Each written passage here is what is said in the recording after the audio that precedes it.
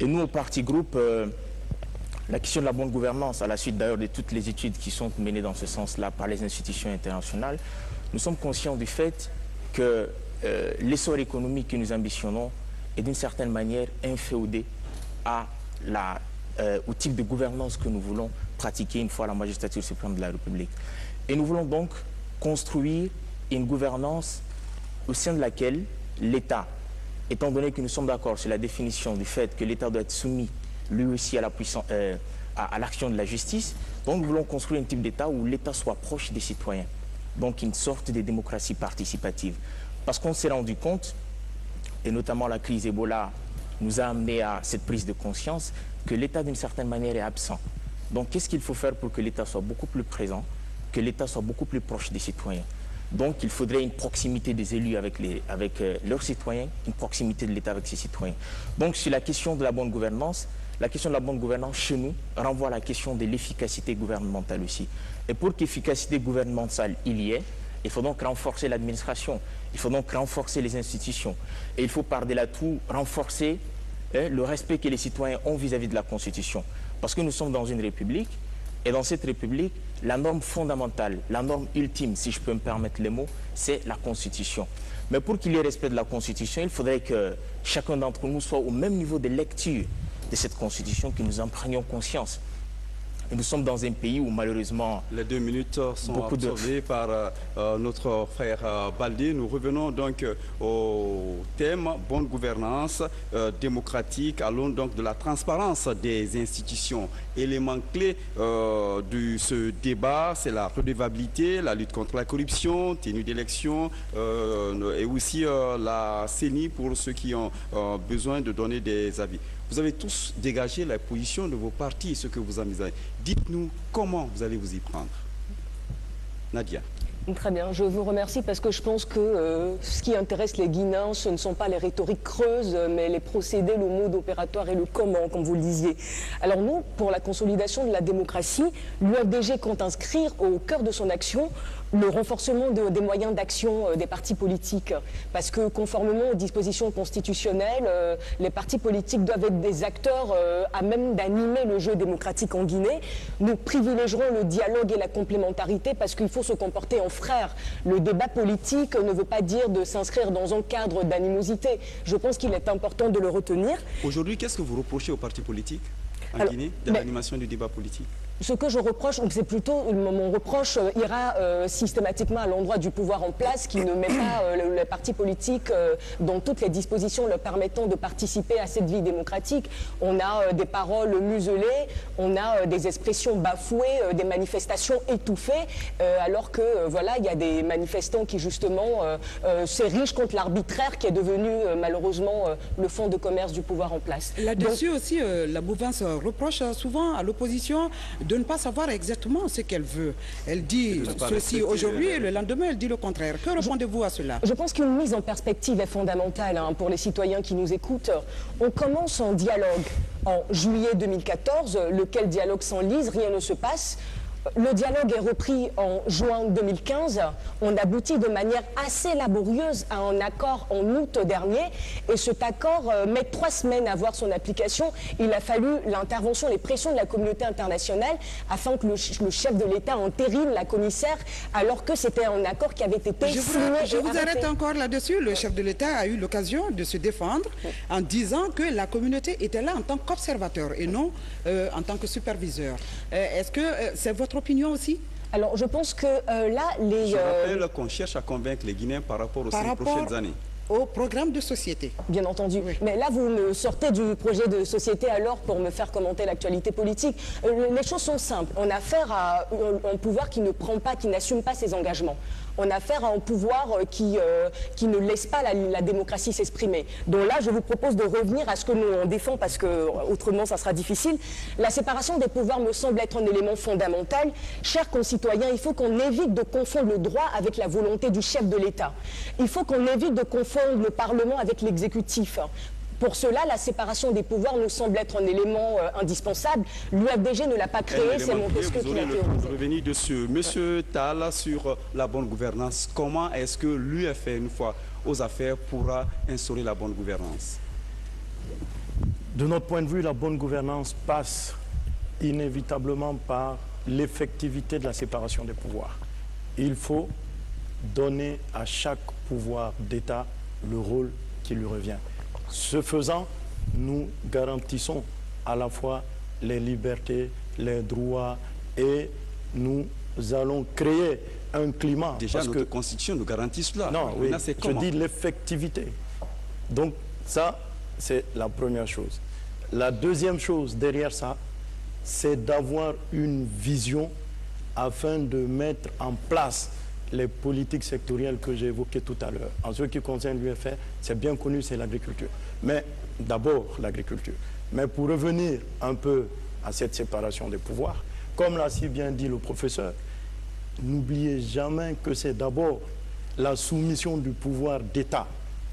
C'est d'abord ça, l'état de droit.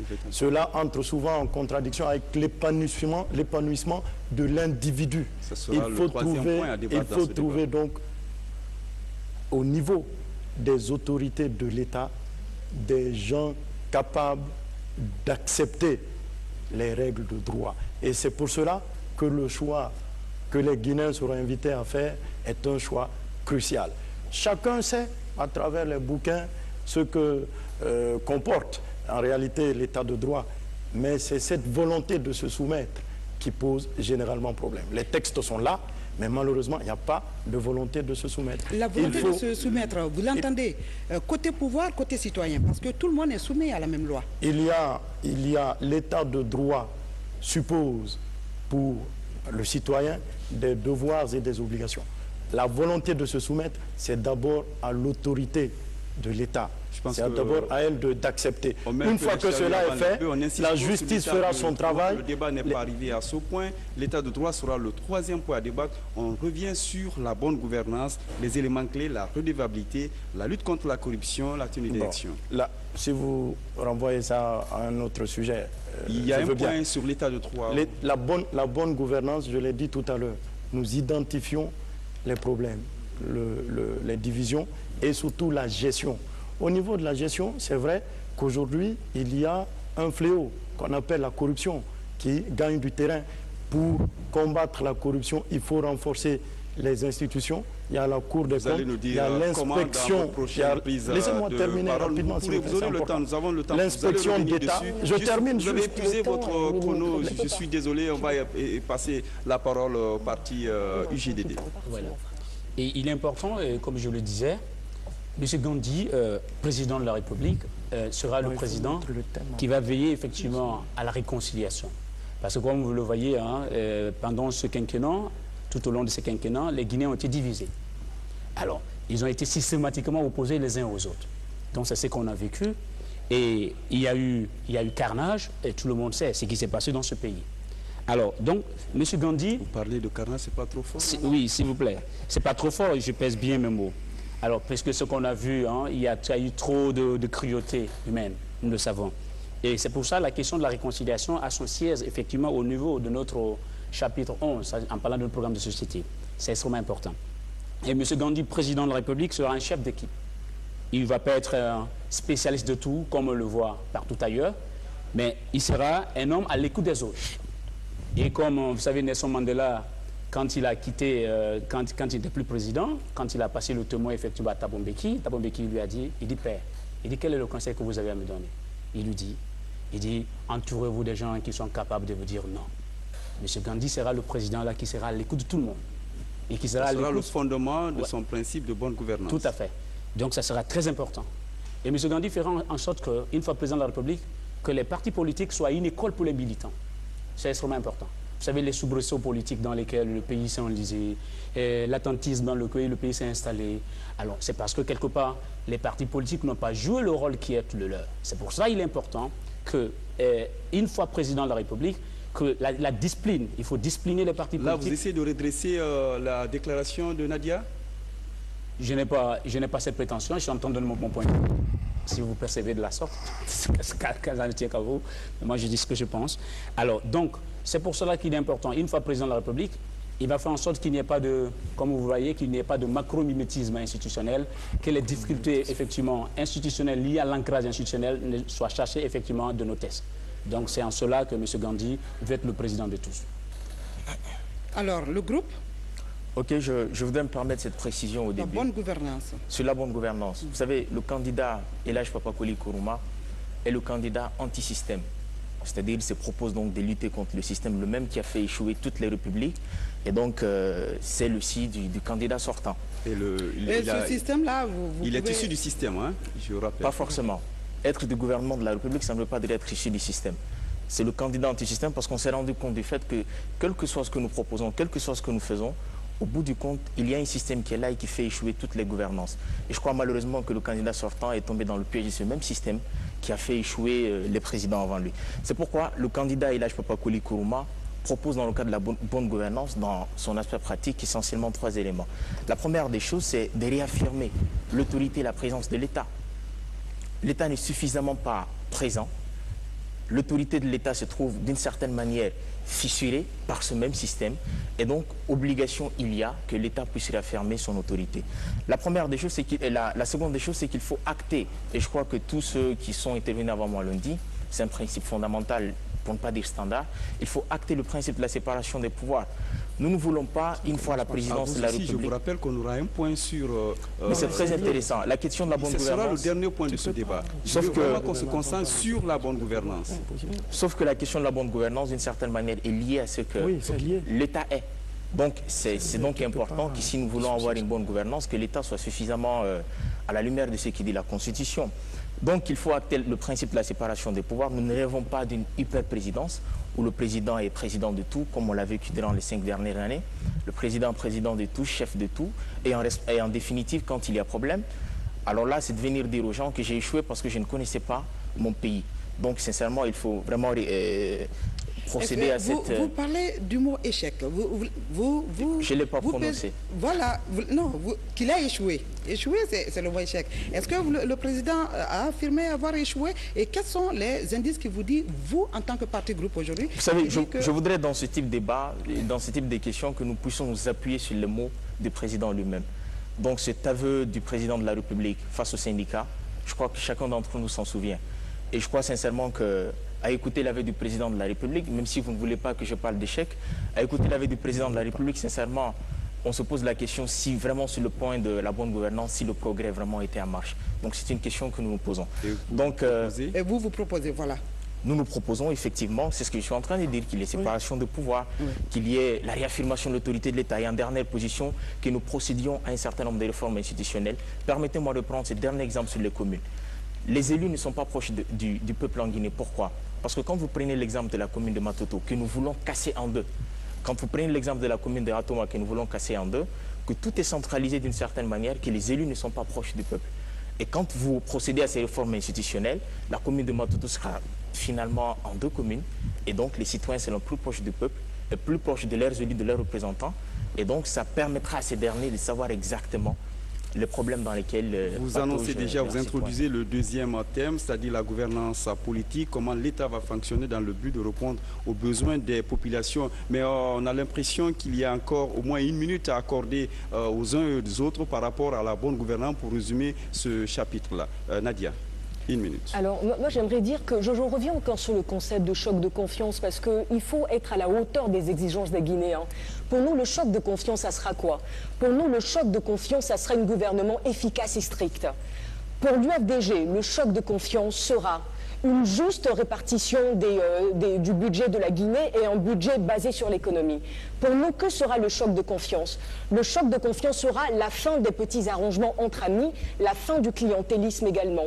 Donc tout un ensemble de mesures auxquelles on souhaite bien entendu associer la population afin que le, mot de transparence, les mots de transparence publique aient leur sens en Guinée, pour une fois. Et comment cela va se passer? Alors comment cela va se passer? Par un ensemble de mesures immédiates que nous prenons, parce que il faut pas... Euh, ce que j'exhorte mes compatriotes à faire, c'est de ne pas tomber dans un certain fatalisme. Euh, on va mettre en place la haute autorité de la lutte contre la corruption qui sera un organe euh, qui émanera non pas de la présidence mais du Parlement et qui découlera d'une loi organique. Cette euh, haute autorité verra aussi par voie consultative l'appui de, la société civile guinéenne et des ONG de manière à ce que le peuple guinéen soit gardien de l'action publique. Monsieur Tal. Oui, donc comme le temps est extrêmement limité, je vais aller très très très vite. nous allons donc insister sur la séparation des pouvoirs, la réforme de l'État pour mettre en place une administration efficace, débarrasser de corruption.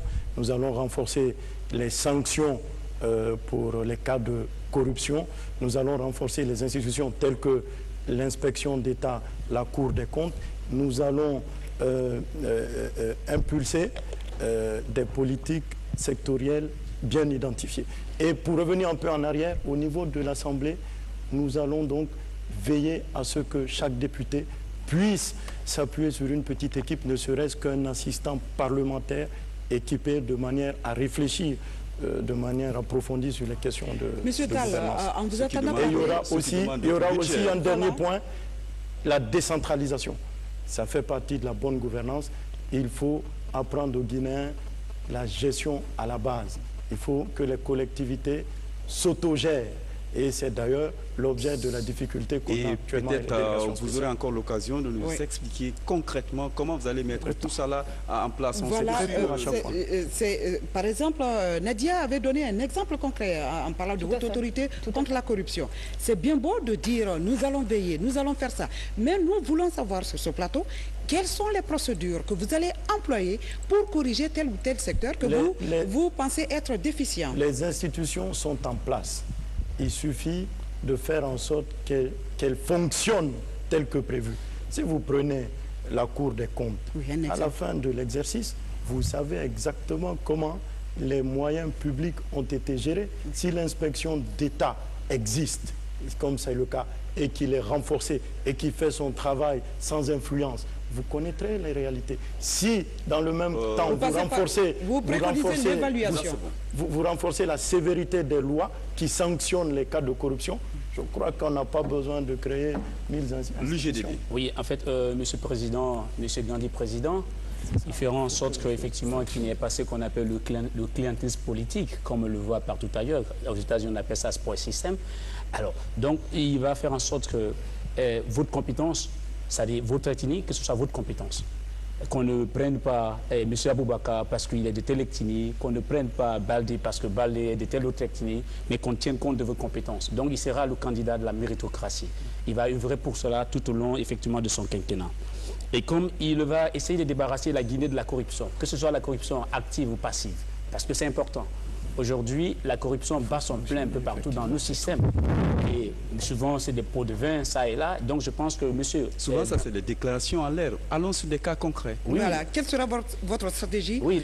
Exemple, le stratégie, nous, allons mettre des structures, effectivement, des structures qui vont essayer de combattre cela. Alors, donc, euh, finalement, il n'y aura pas de corruption. Et déjà, vous pouvez donner un exemple de structure euh, euh, sur les bases, les bases sur lesquelles cette structure-là va évoluer pour réellement indiquer... Euh, oui, tout, à fait. Je pense que ça va tenir, effectivement, ça tiendra à l'effort de chacun, de, tout le monde. Je pense que dans ces structures, nous aurons effectivement des gens de l'administration, nous aurons des gens, euh, effectivement, de, la société civile, etc., etc., qui vont permettre, n'est-ce pas, à ce système de fonctionner euh, normalement. Ça ne va pas être l'État, parce que si c'est l'État seul qui le fait, il n'aura pas, puisqu'il y a des gens qui vont vouloir toujours mettre les bâtons dans les roues, mais ça va tenir, n'est-ce pas, ça tiendra à l'effort de chacun d'entre nous. Monsieur Baldé, pour clôturer ce premier tour de table. Ok, je crois que vous posez beaucoup la question de savoir qu'est-ce qu'il faut faire, qu'est-ce qu'il faut proposer de nouveau. Vous savez, qu'est-ce que vous allez proposer? Chaque euh, génération des Guinéens se croit vouée à, reformer la Guinée. Pourtant, notre génération sait qu'il ne pourra pas reformer la Guinée ou refonder la Guinée. Notre euh, obligation, c'est de faire en sorte que la Guinée ne se défasse pas. Donc, il y a des choses que nous connaissons. Il y a des institutions qui existent. Le problème, c'est comment est-ce qu'il faut faire pour que ces institutions soient opérationnelles? Je crois que c'est autour de cette question fondamentale que le débat doit s'articuler.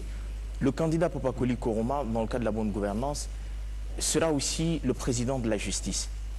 Le président de la justice, parce que c'est un secteur fondamental de la République, et vous savez les crises actuellement que ces secteurs traversent, il faudrait bien évidemment réaffirmer, faire en sorte que l'indépendance de la justice soit actée. Sans oublier que ce secteur a connu des réformes. Euh, Bien sûr, des réformes que nous saluons davantage. C'est-à-dire que nous ne voyons pas du noir partout, M. Aboka.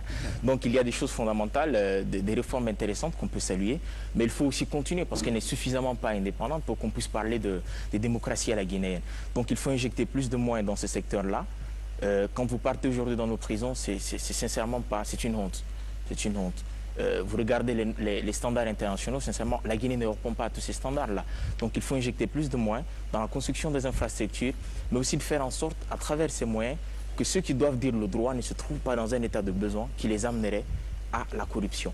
Donc il faut plus de moyens, il faut plus de formation. Premier numéro de programme croisé sur euh, nos antennes avec euh, donc la HAC. Les premiers invités, partis invités ont pour nom l'UFDG, l'UFR, le parti groupe et l'UGDD.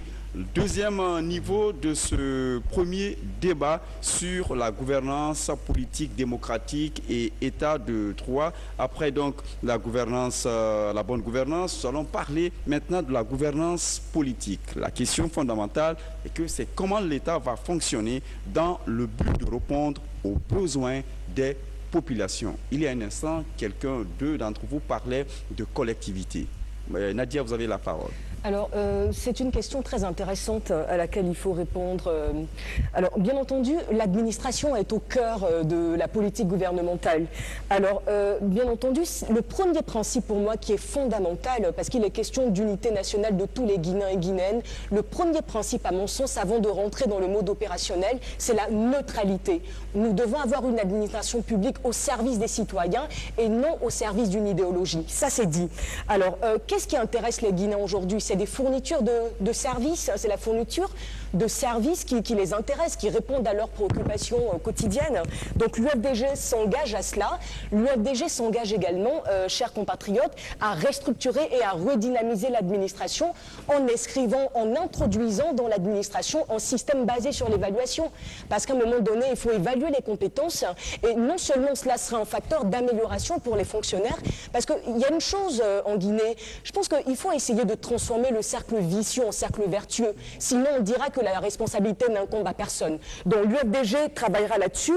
L'UFDG va aussi euh, mettre en place un vaste programme de renforcement de capacité des autorités déconcentrées et euh, à travers non seulement la formation continue, à travers l'équipement, à travers l'appui conseil et la mise en place d'un système incitatif. Sur, sur ce point, je peux témoigner que les collectivités reçoivent beaucoup de formations.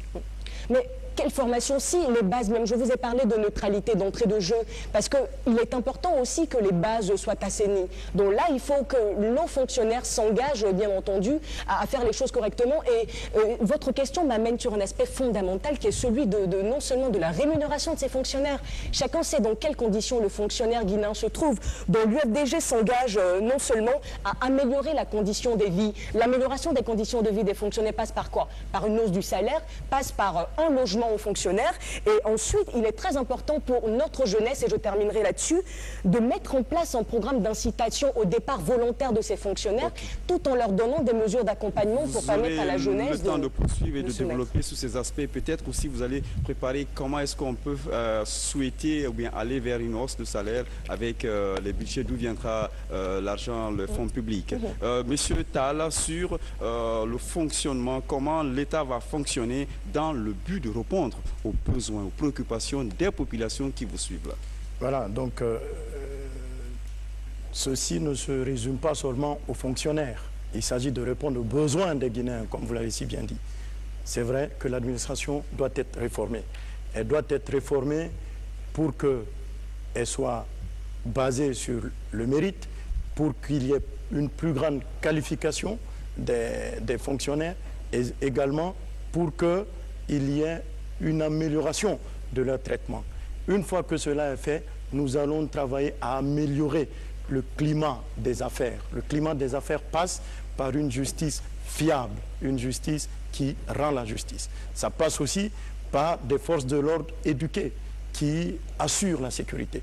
Une fois que cela est fait, et que les premiers signaux de relance économique sont donnés, vous allez attirer les investisseurs et c'est là où les Guinéens sont le plus concernés par la création de l'emploi. Là, nous mettons ça au compte du secteur privé qui ne pourrait être attiré qu'en ayant créé le climat des affaires. Mais pour accompagner ces investissements, nous allons mettre l'accent sur la formation professionnelle. La formation professionnelle permettra de soutenir tous ces engagements ainsi que les investissements dans les infrastructures de base. l'électricité, les routes, l'eau, la communication. Qu'est-ce que, je, suis en train de définir, ne m'interrompez pas. Mm. Je définis un schéma clair. D'accord?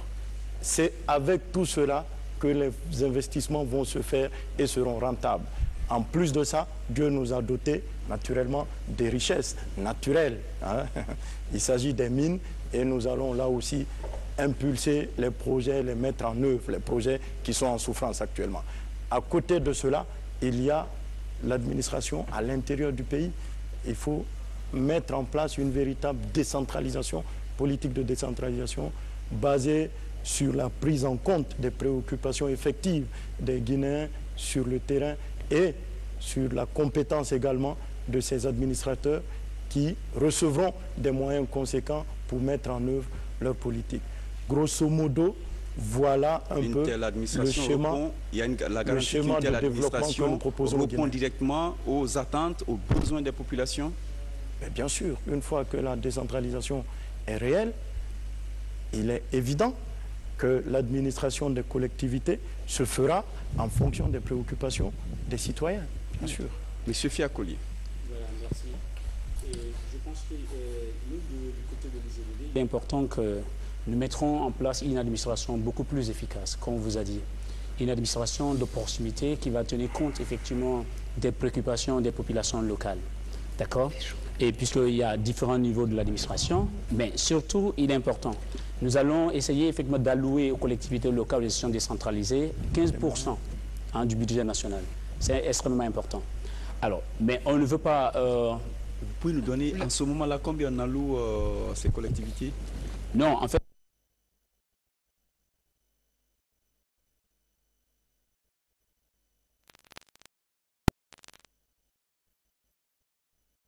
effectivement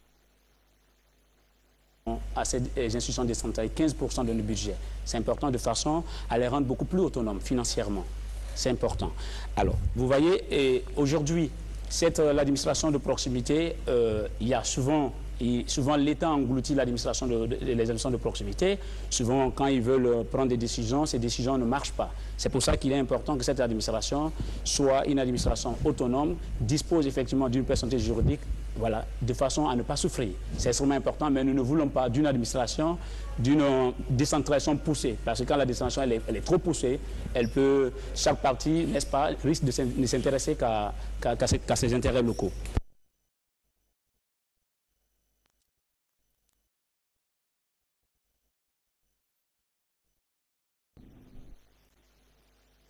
il faut lessiver l'administration. Notre administration, elle est malade. Parce que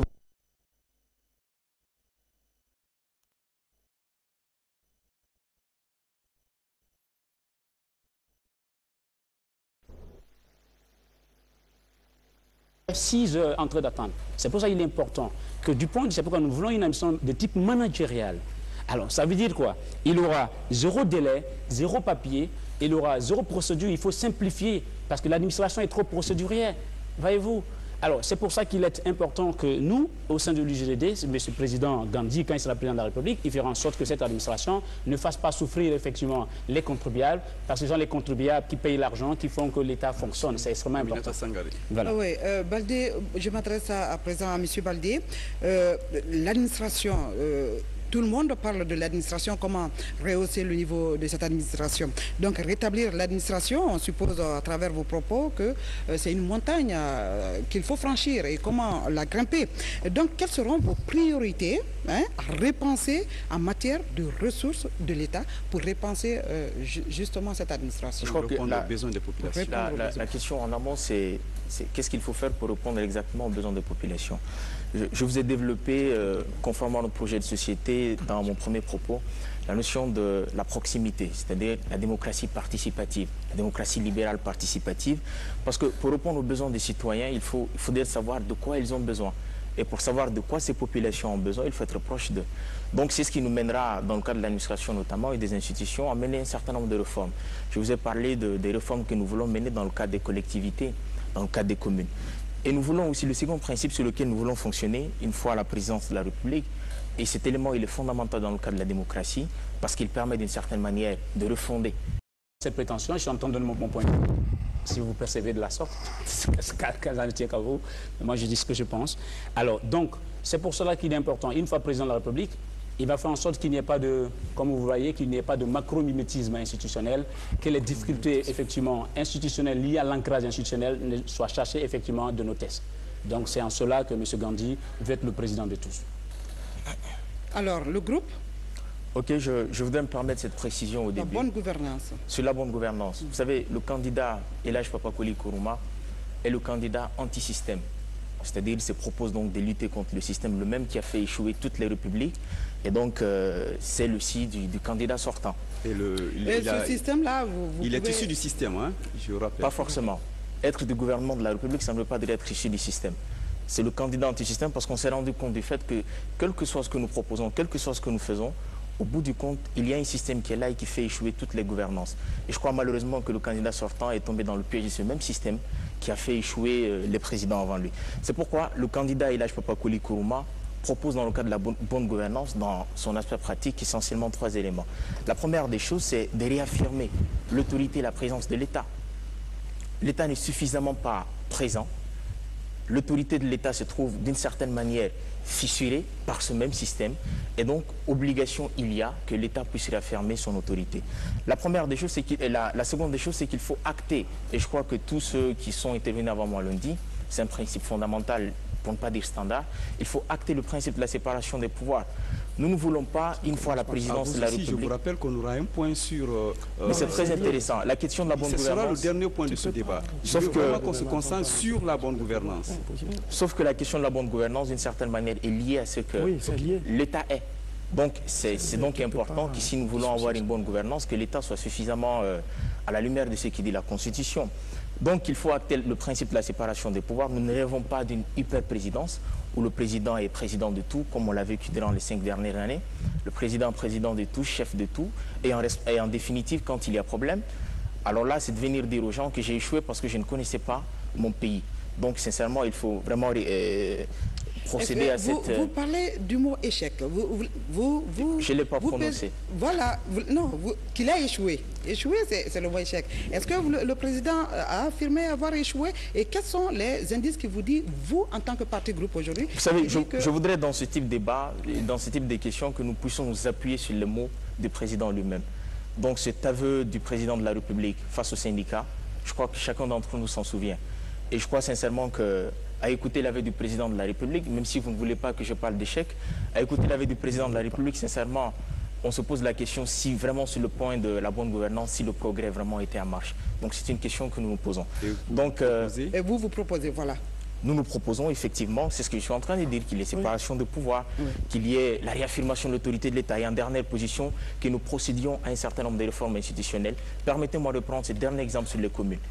Les élus ne sont pas proches du, du peuple en Guinée. Pourquoi? Parce que quand vous prenez l'exemple de la commune de Matoto, que nous voulons casser en deux, quand vous prenez l'exemple de la commune de Ratoma, que nous voulons casser en deux, que tout est centralisé d'une certaine manière, que les élus ne sont pas proches du peuple.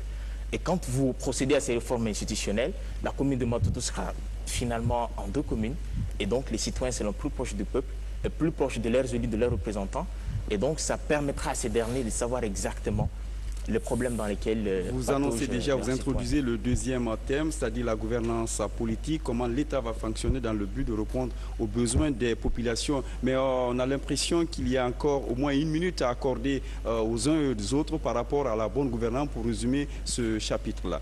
Nadia. Une minute. Alors, moi, j'aimerais dire que je, reviens encore sur le concept de choc de confiance parce qu'il faut être à la hauteur des exigences des Guinéens. Pour nous, le choc de confiance, ça sera quoi? Pour nous, le choc de confiance, ça sera un gouvernement efficace et strict.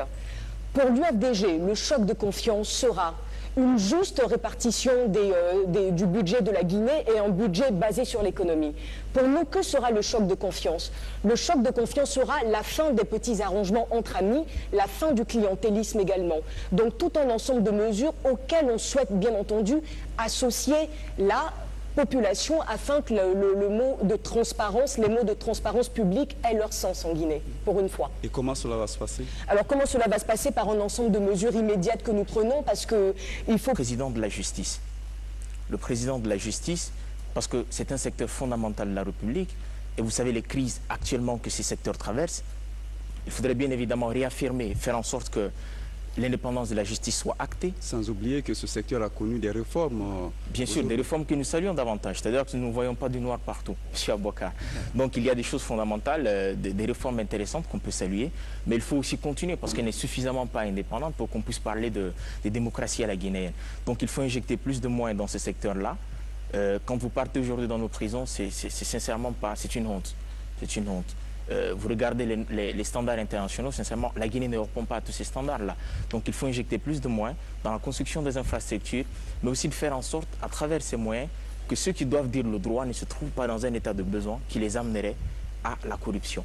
Donc il faut plus de moyens, il faut plus de formation. Premier numéro de programme euh, croisé sur euh, nos antennes avec euh, donc la HAC. Les premiers invités, partis invités ont pour nom l'UFDG, l'UFR, le parti groupe et l'UGDD.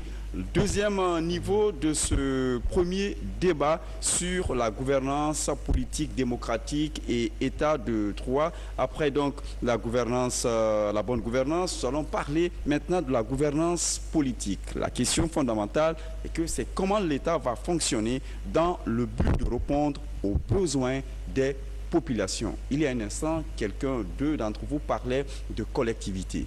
Nadia, vous avez la parole. Alors, euh, c'est une question très intéressante euh, à laquelle il faut répondre. Euh.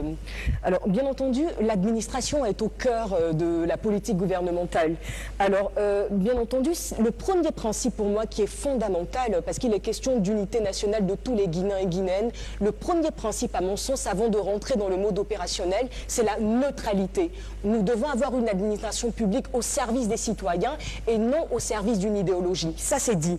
Alors, qu'est-ce qui intéresse les Guinéens aujourd'hui? C'est des fournitures de, services, c'est la fourniture de services qui, les intéressent, qui répondent à leurs préoccupations euh, quotidiennes. Donc l'UFDG s'engage à cela. L'UFDG s'engage également, euh, chers compatriotes, à restructurer et à redynamiser l'administration en inscrivant, en introduisant dans l'administration un système basé sur l'évaluation. Parce qu'à un moment donné, il faut évaluer les compétences et non seulement cela sera un facteur d'amélioration pour les fonctionnaires, parce qu'il y a une chose euh, en Guinée, je pense qu'il faut essayer de transformer le cercle vicieux en cercle vertueux. Sinon, on dira que la responsabilité n'incombe à personne. Donc l'UFDG travaillera là-dessus. L'UFDG va aussi euh, mettre en place un vaste programme de renforcement de capacité des autorités déconcentrées et euh, à travers non seulement la formation continue, à travers l'équipement, à travers l'appui conseil et la mise en place d'un système incitatif surtout. Sur, ce point, je peux témoigner que les collectivités reçoivent beaucoup de formations. Mais quelle formation Si, les bases, même je vous ai parlé de neutralité d'entrée de jeu, parce qu'il est important aussi que les bases soient assainies. Donc là, il faut que nos fonctionnaires s'engagent, bien entendu, à, faire les choses correctement. Et euh, votre question m'amène sur un aspect fondamental qui est celui de, non seulement de la rémunération de ces fonctionnaires. Chacun sait dans quelles conditions le fonctionnaire guinéen se trouve. Donc l'UFDG s'engage euh, non seulement à améliorer la condition des vies. L'amélioration des conditions de vie des fonctionnaires passe par quoi? Par une hausse du salaire, passe par euh, un logement aux fonctionnaires. Et ensuite, il est très important pour notre jeunesse, et je terminerai là-dessus, de mettre en place un programme d'incitation au départ volontaire de ces fonctionnaires, tout en leur donnant des mesures d'accompagnement pour permettre à la jeunesse le temps de, poursuivre et de, développer sur ces aspects. Peut-être aussi vous allez préparer comment est-ce qu'on peut euh, souhaiter ou bien aller vers une hausse de salaire avec euh, les budgets d'où viendra euh, l'argent, le fonds public. Mhm. Monsieur Tala, sur le fonctionnement, comment l'État va fonctionner dans le but de répondre aux besoins, aux préoccupations des populations qui vous suivent là. Voilà, donc euh, ceci ne se résume pas seulement aux fonctionnaires. Il s'agit de répondre aux besoins des Guinéens, comme vous l'avez si bien dit. C'est vrai que l'administration doit être réformée. Elle doit être réformée pour qu'elle soit basée sur le mérite, pour qu'il y ait une plus grande qualification des, des fonctionnaires et également pour que il y ait une amélioration de leur traitement.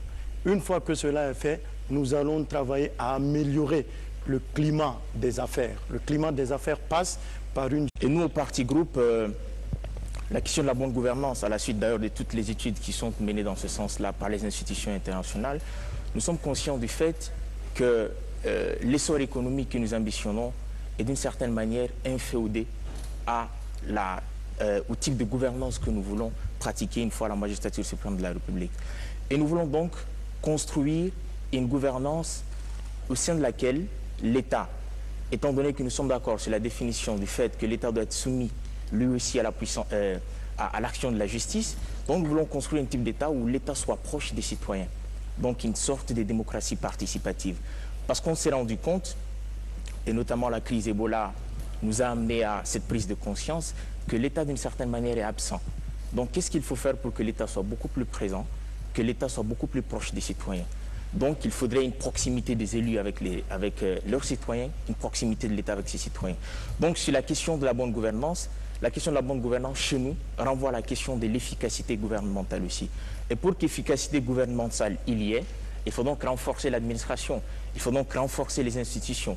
Et il faut par-delà tout renforcer hein, le respect que les citoyens ont vis à -vis de la Constitution. Parce que nous sommes dans une république, et dans cette république, la norme fondamentale, la norme ultime, si je peux me permettre les mots, c'est la Constitution. Mais pour qu'il y ait respect de la Constitution, il faudrait que chacun d'entre nous soit au même niveau de lecture de cette Constitution, que nous en prenions conscience nous sommes dans un pays où malheureusement... Les deux minutes sont beaucoup absorbées par euh, euh, notre frère euh, Baldi. Nous revenons donc au thème bonne gouvernance démocratique, allons donc de la transparence des institutions. Élément clé de ce débat, c'est la redevabilité, la lutte contre la corruption, tenue d'élection et aussi la CENI pour ceux qui ont besoin de donner des avis. Vous avez tous dégagé la position de vos partis et ce que vous envisagez. Dites-nous comment vous allez vous y prendre. Nadia. Très bien, je vous remercie parce que je pense que euh, ce qui intéresse les Guinéens, ce ne sont pas les rhétoriques creuses, mais les procédés, le mode opératoire et le comment, comme vous le disiez. Alors nous, pour la consolidation de la démocratie, l'UFDG compte inscrire au cœur de son action le renforcement des moyens d'action euh, des partis politiques. Parce que conformément aux dispositions constitutionnelles, euh, les partis politiques doivent être des acteurs à même d'animer le jeu démocratique en Guinée. Nous privilégierons le dialogue et la complémentarité parce qu'il faut se comporter en frère. Le débat politique ne veut pas dire de s'inscrire dans un cadre d'animosité. Je pense qu'il est important de le retenir. Aujourd'hui, qu'est-ce que vous reprochez aux partis politiques en Guinée de l'animation du débat politique? Ce que je reproche, c'est plutôt mon reproche euh, ira euh, systématiquement à l'endroit du pouvoir en place qui ne met pas euh, les partis politiques dans toutes les dispositions leur permettant de participer à cette vie démocratique. On a des paroles muselées, on a des expressions bafouées, des manifestations étouffées, alors que voilà, il y a des manifestants qui justement s'érigent contre l'arbitraire qui est devenu malheureusement le fond de commerce du pouvoir en place. Là-dessus aussi, la mouvance reproche souvent à l'opposition de ne pas savoir exactement ce qu'elle veut. Elle dit ceci aujourd'hui et le lendemain, elle dit le contraire. Que répondez-vous à cela? Je pense qu'une mise en perspective est fondamentale hein, pour les citoyens qui nous écoutent. On commence en dialogue en juillet 2014, lequel dialogue s'enlise, rien ne se passe. Le dialogue est repris en juin 2015. On aboutit de manière assez laborieuse à un accord en août dernier. Et cet accord euh, met trois semaines à voir son application. Il a fallu l'intervention, les pressions de la communauté internationale afin que le, chef de l'État entérine la commissaire alors que c'était un accord qui avait été je signé. Vous, je vous arrête encore là-dessus. Le chef de l'État a eu l'occasion de se défendre en disant que la communauté était là en tant qu'observateur et non euh, en tant que superviseur. Euh, est-ce que c'est votre opinion aussi alors, je pense que euh, là, les... Je rappelle qu'on cherche à convaincre les Guinéens par rapport aux cinq prochaines années au programme de société. Bien entendu. Mais là, vous me sortez du projet de société alors pour me faire commenter l'actualité politique. Euh, les choses sont simples. On a affaire à un pouvoir qui ne prend pas, qui n'assume pas ses engagements on a affaire à un pouvoir euh, qui, euh, qui ne laisse pas la, démocratie s'exprimer. Donc là, je vous propose de revenir à ce que nous on défend parce que autrement ça sera difficile. La séparation des pouvoirs me semble être un élément fondamental. Chers concitoyens, il faut qu'on évite de confondre le droit avec la volonté du chef de l'État. Il faut qu'on évite de confondre le Parlement avec l'exécutif. Pour cela, la séparation des pouvoirs nous semble être un élément euh, indispensable. L'UFDG ne l'a pas créé, c'est Montesquieu qui l'a théorisé. revenir dessus. Monsieur Tal, sur la bonne gouvernance, comment est-ce que l'UFR, une fois aux affaires, pourra instaurer la bonne gouvernance? De notre point de vue, la bonne gouvernance passe inévitablement par l'effectivité de la séparation des pouvoirs. Il faut donner à chaque pouvoir d'État le rôle qui lui revient.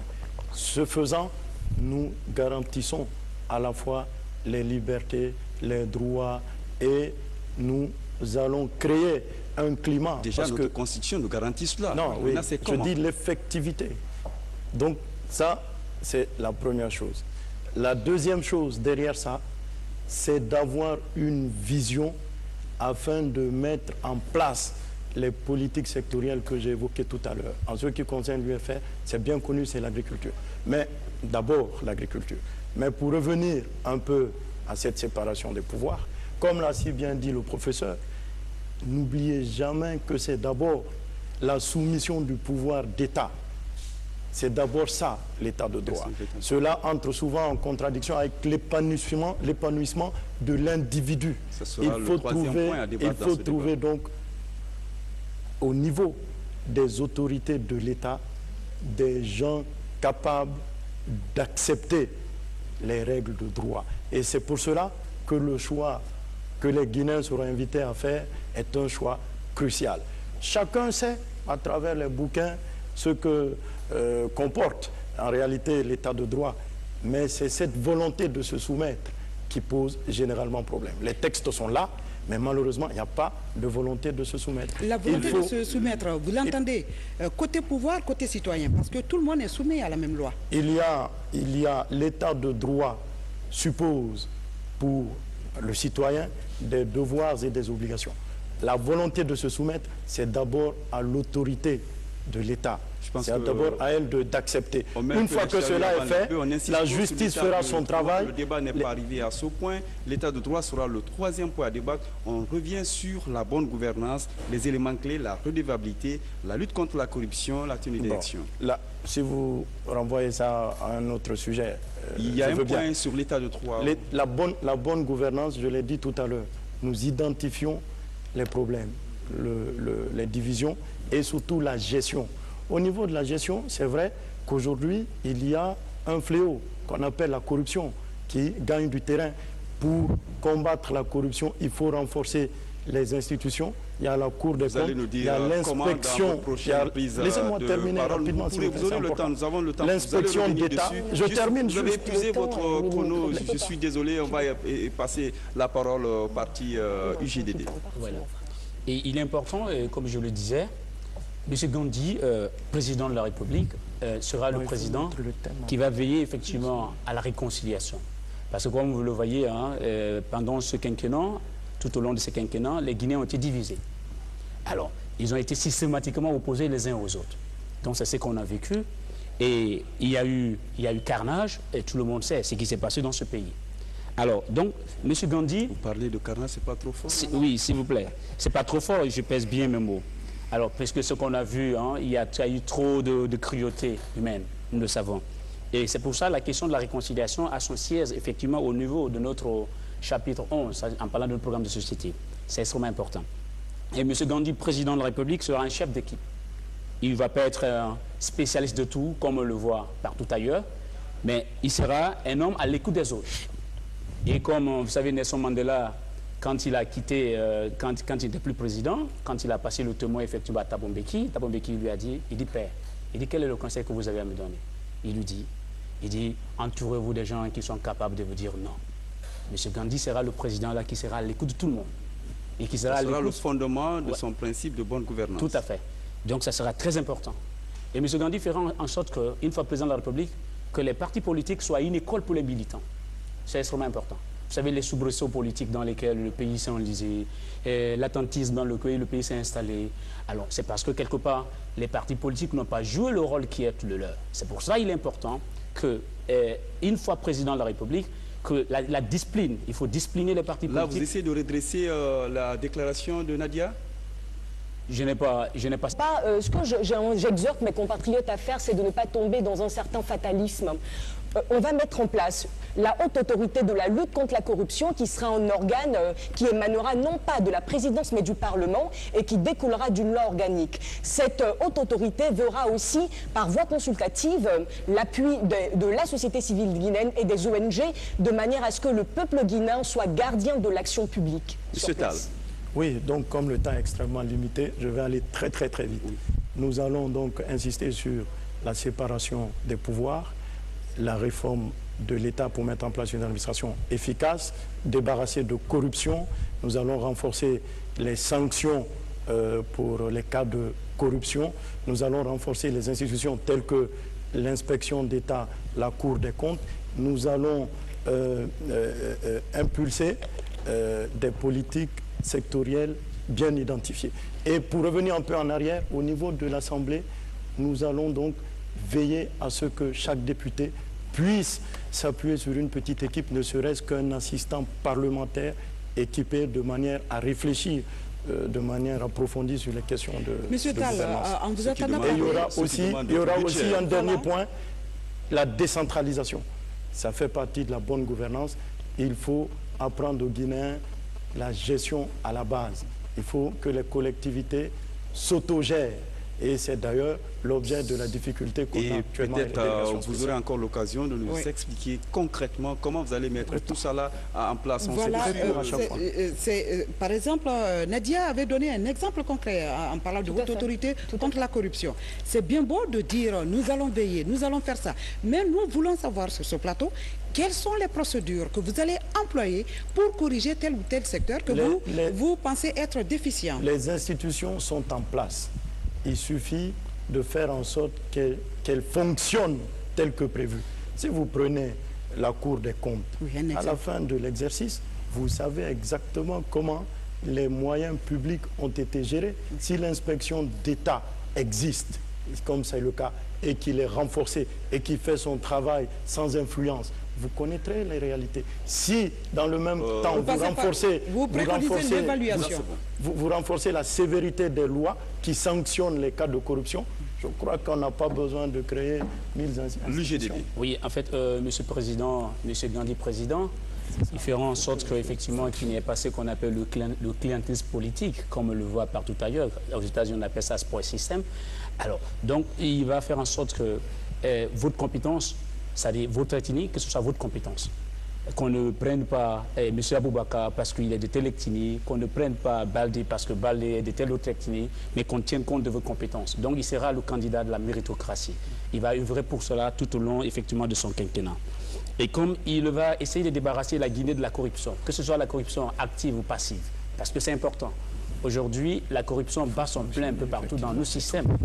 Et souvent, c'est des pots de vin, ça et là. Donc, je pense que, monsieur... Souvent, ça, c'est des déclarations en l'air. Allons sur des cas concrets. Voilà. Quelle sera votre, stratégie Oui. Exemple, le stratégie, nous, nous, allons mettre des structures, effectivement, des structures qui vont essayer de combattre cela. Alors, donc, euh, finalement, il n'y aura pas de corruption. Voilà. Et déjà, vous pouvez donner un exemple de structure euh, euh, sur les bases, les bases sur lesquelles cette structure-là va évoluer pour réellement indiqué euh, oui, oui tout, à fait. Je pense que ça va tenir, effectivement, ça tiendra à l'effort de chacun, de, tout le monde. Je pense que dans ces structures, nous aurons effectivement des gens de l'administration, nous aurons des gens, euh, effectivement, de, la société civile, etc., etc., qui vont permettre, n'est-ce pas, à ce système de fonctionner euh, normalement. Ça ne va pas être l'État, parce que si c'est l'État seul qui le fait, il n'aura pas, puisqu'il y a des gens qui vont vouloir toujours mettre les bâtons dans les roues, mais ça va tenir, n'est-ce pas, ça tiendra à l'effort de chacun d'entre nous. Monsieur Baldé, pour clôturer ce premier tour de table. Ok, je crois que vous posez beaucoup la question de savoir qu'est-ce qu'il faut faire, qu'est-ce qu'il faut proposer de nouveau. Vous savez, que vous allez proposer? chaque euh, génération des Guinéens se croit vouée à, réformer la Guinée. Pourtant, notre génération sait qu'il ne pourra pas réformer la Guinée ou refonder la Guinée. Notre euh, obligation, c'est de faire en sorte que la Guinée ne se défasse pas. Donc, il y a des choses que nous connaissons. Il y a des institutions qui existent. Le problème, c'est comment est-ce qu'il faut faire pour que ces institutions soient opérationnelles? Je crois que c'est autour de cette question fondamentale que le débat doit s'articuler. Le candidat Papakoli Koroma, dans le cadre de la bonne gouvernance, sera aussi le